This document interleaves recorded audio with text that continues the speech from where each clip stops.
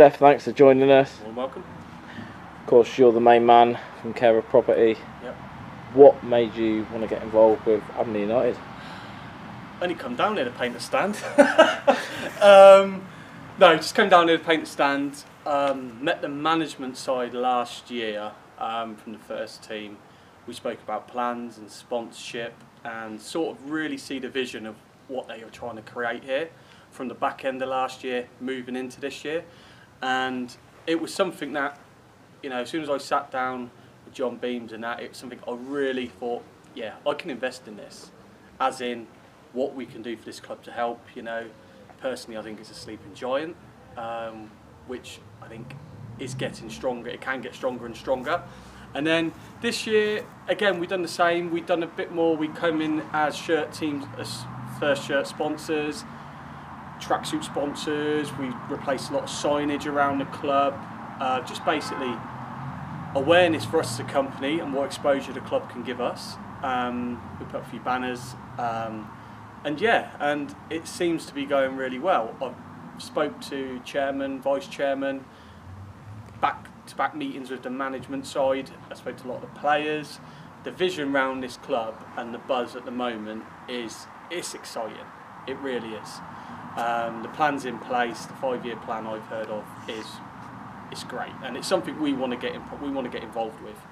We can be. We really want to be this club's long-term sponsor. That was my goal.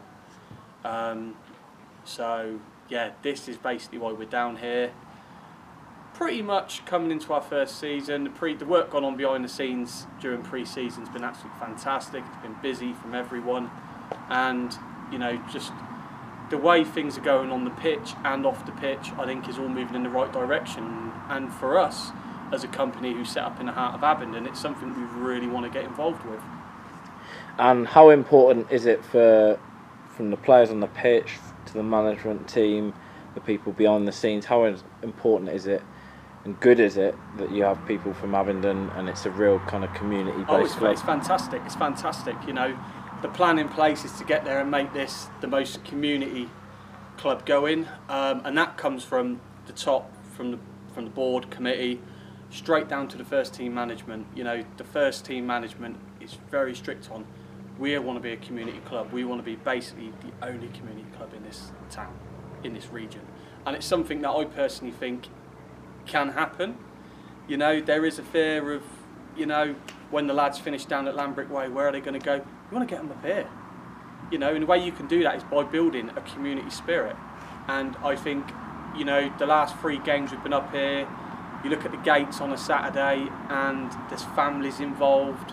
It's not just guys and girls coming up having a pint watching a game of football. They're bringing the kids up.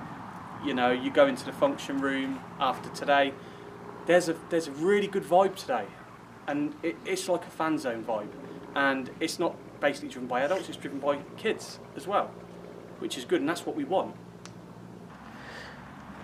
On the pitch, we've seen a draw, two wins this week, to give, in, give us seven points out of our first nine. How good is it being here on a match day, experiencing the match day experience?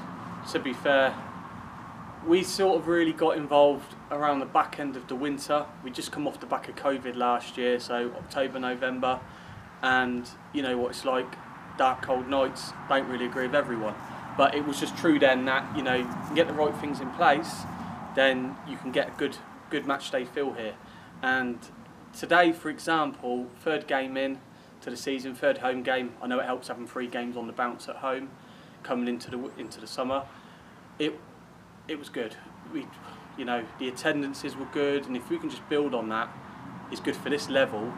It's brilliant. You know, everyone's coming behind after the game, coming to the bar. They've had a drink. Got a good food truck here, um, and everyone. I look over there now, and I just still see people sat outside there, you know, enjoying a pint in the summer sun. And personally, I've I've never known such a good setting. Really, um, and that's from anything. Even just coming down here during the day, it's, it's, peaceful, it's great. And in the evenings after the game, it's just such a good vibe. You know, there's there's no drama, there's no hassle. it's it's family friendly. Whether you want to come down on a Saturday afternoon or whether you want to come down 7:45 kick-off in the week, you know, it's got that. And I do believe, after seeing from what I see today, we can build on that. And you know, if we can average some really good attendances, it's only going to benefit the club on the field and also off the field.